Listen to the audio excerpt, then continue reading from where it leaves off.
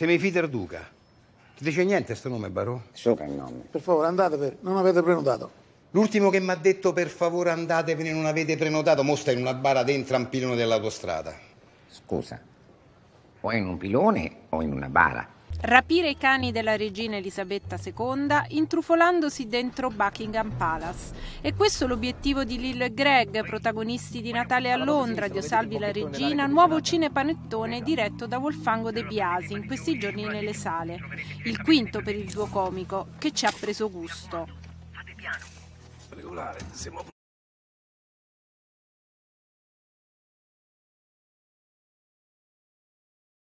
Abbiamo cominciato con, eh, con due figli con i parenti, il primo piuttosto eh, fortunato perché era un episodio azzeccato che, che ci ha, com- diciamo, che ha fatto decidere alla Filmauro poi di andare avanti con noi eh, anche per, per- per i film a venire, insomma, quindi eh, sì, sono passati già cinque anni. Però ho contratto per 5 anni. Cinque anni, sì, sì, quindi Faremmo volentieri un film che non fosse quello di Natale, molto volentieri.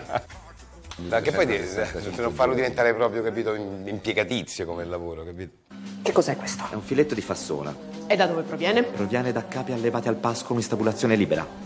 Eh, nutriti con cereali e foraggio coltivati rigorosamente con agricoltura biologica e macellati artigianalmente. E come è stato flambato? È stato flambato con brandy invecchiato 27 anni e condito con pepe verde del Malabar. E quante cotture ci sono per un filetto così prelibato? Una! Questa! Un cinepanettone in cui si ride ma c'è anche avventura e azione. Cinepanettone è il termine giusto perché è un termine che, che riguarda, così, hanno dato per un film che esce sempre a Natale, quindi va bene cinepanettone, non lo trovo neanche dispregiativo o negativo come termine.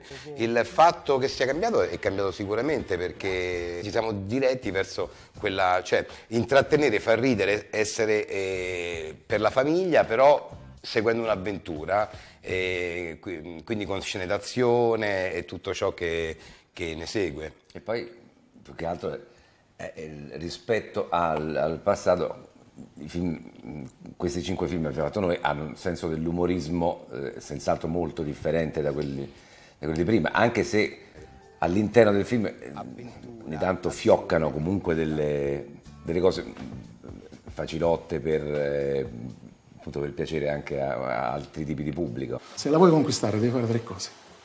Ti devi imporre. Tu ti devi fare rispettare va, papà. levati di mezzo. Levati di mezzo.